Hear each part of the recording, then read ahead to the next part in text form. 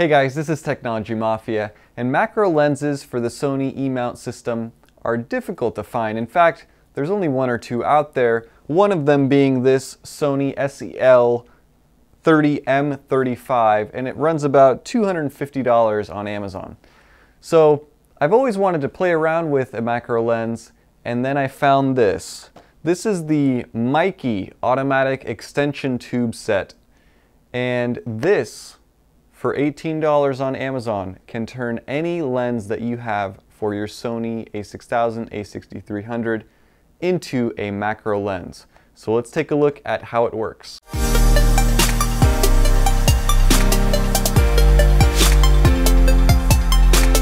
Alright, so here is the box that the extension tubes come in. Pretty simple. Shows you what is possible with these extenders and there are two of them in this box. Nothing really else in here. Let's see here. They just come in a plastic bag and there's some documentation. This is what they look like. These are the two of them together. So Mikey, Miiki, however you pronounce it. The MKS AF3B 16 millimeter and a 10 millimeter. So these are plastic construction and that's perfectly fine for the amount of money that you're paying for them. They have a release lever right here so you can pull down and then disconnect them. So you, now you have, there's the 16 and there's the 10. And they're very easy to use. As you can see, all that they do is they space the lens from the camera body. And that allows the lens to focus on objects that are closer and it also zooms in the image.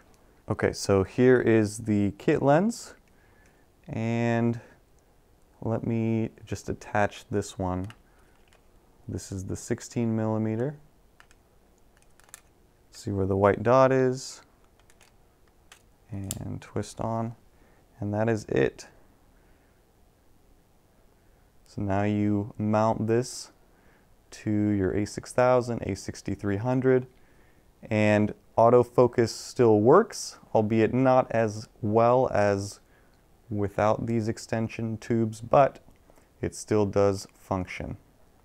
So now let's go ahead and take a look at the difference that these extension tubes make on each of these lenses. Alright, so what I have here is just a couple of items that I will be using to try to demonstrate how close you can get with these tube extenders. So the first lens that I'm going to use is actually going to be the 50 millimeter. Here, this is the SEL 50 f1.8. Quickly becoming one of my favorite lenses for the E-mount. And what I will do first is try to take a picture as close as possible of the Seiko watch that I have in front of me. So let me see if I can try to get focus. And you can see just how far I had to move off the frame in order to get a shot up close of the watch. Now let's see how close I can get by using the 10 millimeter extender. All right, and Let's see. Okay, so it's a bit better now. You can see that the camera was at least in the frame and you can see that the picture is a little closer. Now let's see what happens when we add the 16 millimeter extender to this. So now you have a lens that looks even longer and now that made a big difference I will tell you because you could see that, that picture now of the dial. So, so let's try the 35 millimeter lens now. So that is it, that's one. Now let's try using the 16 millimeter tube. I am able to get much, much closer. Let's put both of them together. And this is just unbelievable the shots that you can get with that. All right. And the last lens, let's try this out with the kit lens. Let's do the Rubik's Cube here. So with the kit lens, in order to get an up close shot, sometimes you will have to zoom in to get it. So I'm gonna try, I'm gonna try zooming in as much as I can to get the object to fill the frame as much as possible. And it looks like that is about 30 millimeters. There's one shot. Let's add the 16 millimeter extender tube.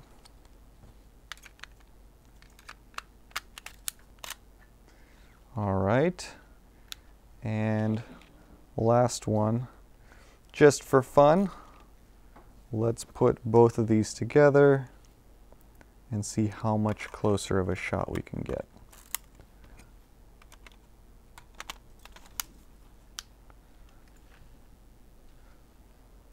All right.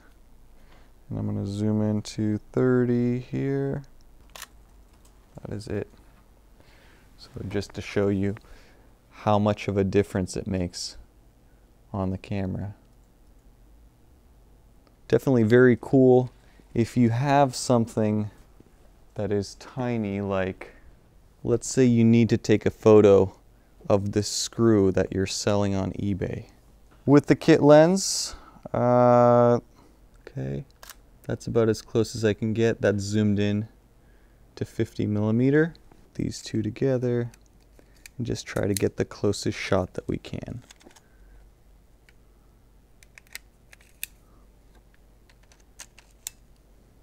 There we go. Turn it on.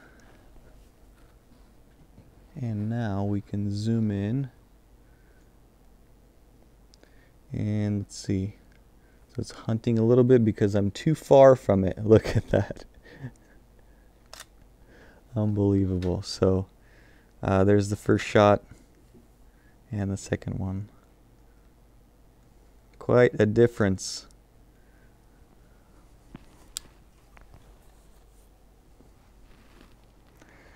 All right, so that is it for this video. Definitely a cool product, especially for the money. For $18, even if it breaks, it's not gonna break your bank and you will be happy to be able to play around and do some very cool photography up close using any of your existing lenses for your Sony E-mount.